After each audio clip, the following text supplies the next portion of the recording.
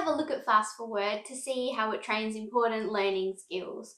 The Fast ForWord Foundations 1 and Foundations 2 programs have a total of 12 different exercises and they're really focusing on core learning skills.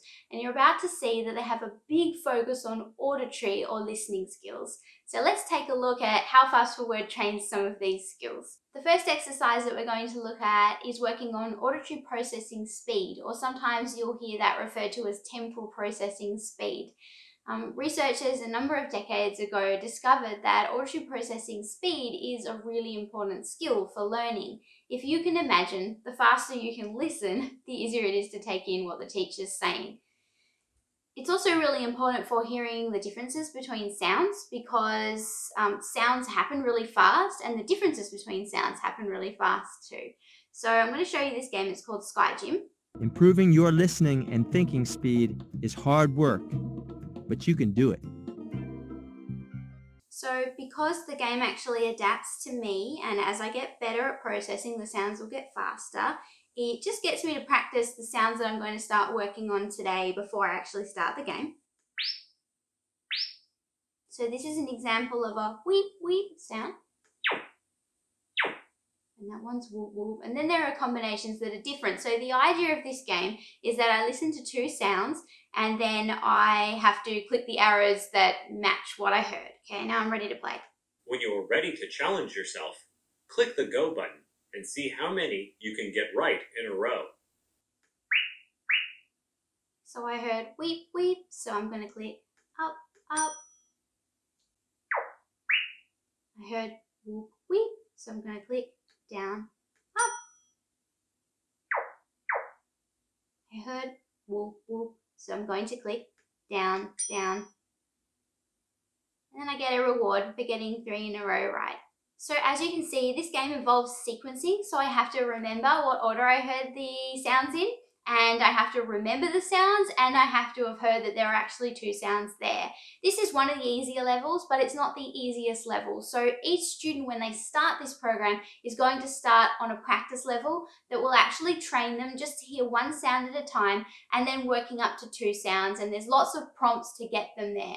If they're already pretty good at the game from the start and they don't need those prompts, then it will move them up more quickly. So this is something that's really unique about Fast ForWord is every time a student's answering a question, it will actually adapt to them, which means that you don't have to have an assessment beforehand because from day one, it's actually going, okay, you can do this, I'll move you up, or all right, this is a little bit harder, let's keep you on this level, or let's let's give you a little bit more practice on this level before moving you up. So it's very, very adaptive. So as this game progresses, and as we move into the Foundations 2 program, there's going to be more than two sounds, and they're going to be faster and they're going to be shorter, really giving students a challenge with their auditory processing speed.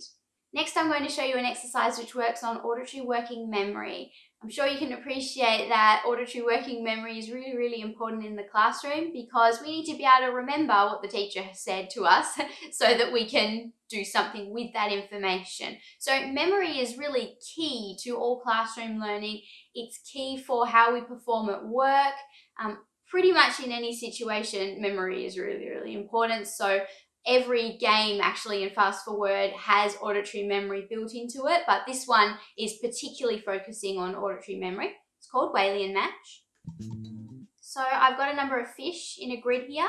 This is a higher level. It'll actually start with just four fish in the grid, which is important when the student is just starting out. But as their memory gets better, it'll give them more fish. So I have 16 fish to match here, and I need to listen to each fish I need to remember where it was and I need to find the one that sounds the same as it. So I'm going to work from up here.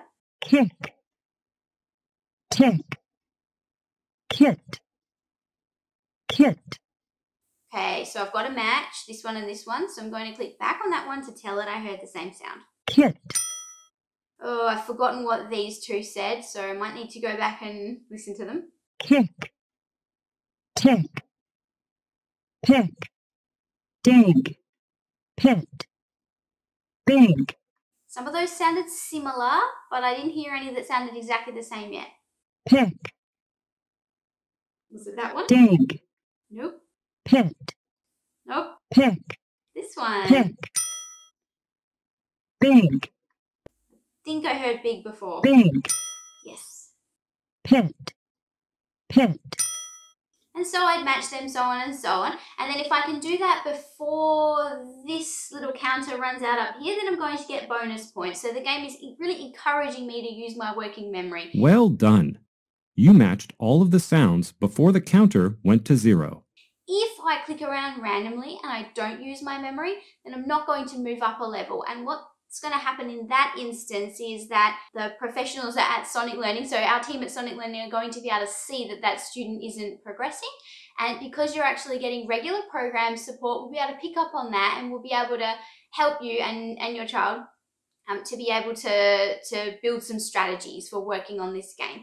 So the support is a really, really important part of Fast ForWord. We're going to be here with you. You're going to get a report at the end of every week showing you a summary of how much progress has been made in each exercise that week. But we're also here whenever you have a question and with that regular support call so that we're always making sure that your child's progressing and they're not getting stuck. And that's really, really Getting important. smarter is hard work, but you can do it. Thank you. I, I can do it. okay. The program has lots of motivational stuff built in. Um, it's really nice. I really like it. So next we're going to look at a game that targets auditory attention.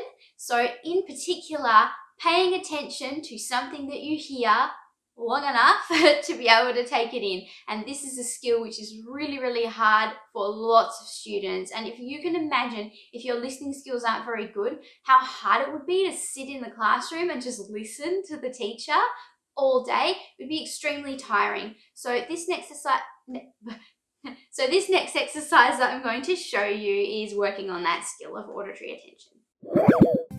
Granny's working up a sweat. You can put your brain to work on the moon ranch. Okay, so I need to click this go button. When I click the go button, I'm going to hear a sound. The horse is going to be making this sound. I can actually see down here it's st and c.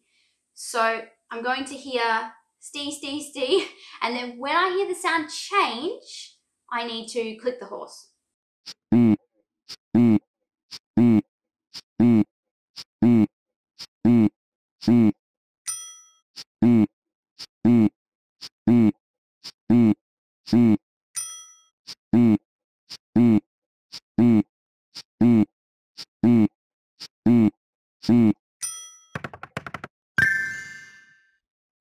And then I got a reward for getting three in a row. So you can see how much I had to pay attention in order to get this right. As we go along, the sounds are going to change. It's going to get faster. I'm also going to get different animals and different kinds of rewards. But my goal is here to make this animal move across and, and move over the fence. And you can see that it requires an incredible amount of auditory attention, but it's also really fun. It's also training auditory discrimination skills, so being able to hear the differences between sounds, which is a really important auditory processing skill. So, so far I've shown you three games that work with sounds. They all work with speech sounds, but we actually haven't been working with whole words or sentences yet. But don't worry, Fast ForWord does that as well. So now I'm going to show you a couple of exercises which work on language skills, listening skills in, in the context of language. You might have seen programs before that claim that they can improve learning skills by using music. I personally feel that using speech, actual sentences, actual words, actual speech sounds is much more effective and much more like what kids will actually do in the classroom in real life. And what we really want is a generalization over into real life skills, which is what we do see in, in the Fast ForWord research. So I think that using speech sounds is really important and using language is really important. So we're going to look now at a receptive grammar game. So it's a comprehension game and you'll see it trains memory as well. Elabot will improve your grammar and listening skills. Do your best. Okay, so in this game, I need to click the go button and I'm going to hear a sentence and then I need to pick the picture that matches the sentence. The girl who is chasing the clown is not big. So this is an example of a pretty hard one. We'll definitely start on much easier stuff than this. The clown who is not on the box is little. The book that is not on the table is blue. Okay, so what happens if I don't get it right? The book that is not on the table is blue. The game does let me know if I get it wrong. It doesn't dwell on it, it moves on. But this is really important for the brain. It's very important for my brain to know when I got something wrong so that it can rewire itself. This is neuroplasticity, the brain's ability to change itself. So you notice that every time I got a question right, I get this ding sound, and that ding is actually perfectly timed so that my brain releases the right chemicals that reward me and go, okay, I need to save this, this connection. But when I get something wrong, I need to know that it was wrong. And it actually shows me what the correct answer was. Now, there are 36 grammar patterns in this particular exercise alone that are going to be covered. So right from very simple grammar to very complicated grammar. This was on the more complicated end, but it wasn't one of it wasn't the hardest question the game will actually work through them. And if it can see that there's something that I find tricky, so there's a particular grammar point that I'm not really strong at, it will actually provide me with further instruction in that Getting grammar smarter point. is hard work, but you can do it. It does remind you if you stop for a little while. so it'll work on that grammar point more and it will give me more intervention for that. If the student's still having trouble after that, that intervention, then at Sonic Learning we have activities and things that we can provide you with to help uh, that student progress. All right, so that's uh, an example of receptive grammar. The last game I'm going to show you today is about following instructions. We all know how important following instructions is for classroom, for everyday life. Basically, we need to be able to follow instructions. So this game is called Space Commander. You will feel more confident with a better memory in space. Listening carefully to instructions will improve your memory and attention. Okay, so I'm going to click on the go button to get an instruction. Except for the blue one, touch the circles. So this is teaching me two things here. It's teaching me the concept of accept, and if it can tell that I don't know what that is after a few trials, it will teach me. But it's also my memory as well. So it's my language skills and my memory. So I have to click every, was it the circles? Circles except for the blue one. Touch the red circle. No, the green square. Okay, so there was a rule change there. Before touching the yellow square, touch the blue circle. And if I don't get it right, Before touching the yellow square, touch the blue circle. so it's repeating it and it's showing me what it meant. So that's really important. So this works through a whole range of different instructions, going from very simple to very hard. So in the beginning, it just works out, does this student know colors, shapes, basic instructions? Once I've been able to show the computer, yep, I can do that, it will move on and it will adjust to the level of, of that particular student. So, so far we've seen that Fast ForWord trains core skills that we need for learning. So the skills that a student really needs to be able to sit down in the classroom, pay attention, remember what they've learned, process it quickly enough, and understand that information. And that's what they need to be able to do to be an effective learner. You might have heard that Fast ForWord trains reading skills as well. And we certainly see that in the Fast ForWord research as well. When kids have used Fast ForWord and researchers have tested their reading, it's improved. And we actually saw that in our Australian school trials too. But how could that be since, as you can see, we haven't actually done any reading? Well, it's because reading requires all of these important cognitive skills as well. And when the neuroscientists created Fast ForWord, there was a set of four neuroscientists who created Fast ForWord. They were specifically looking at skills we need for learning and for reading. So when we read, we need to pay attention to the paragraph or the story that we're reading. We need to be able to remember what came first so that we can connect it with what came after. And we need to be able to understand language and we need to be able to process fast enough so that we're able to, you know, read in a in a fast enough manner so that we're not too slow and, and because when we read too slowly we lose comprehension and reading can become a very laborious task as well. So that's why we see improvements in, in reading often from this program as well.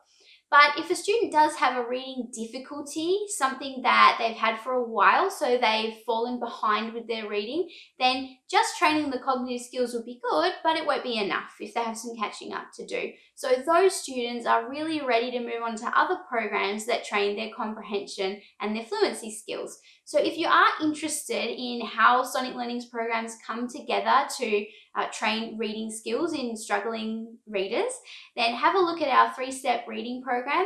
Fast ForWord Foundations is the first step in that program. We've got an information video and a demo video that will show you what that program's all about. If you have any questions about anything you've seen today or any of our services, please just give us a yell, give us an email or a phone call. That's what we're here for. And I hope this was helpful. Have a good day.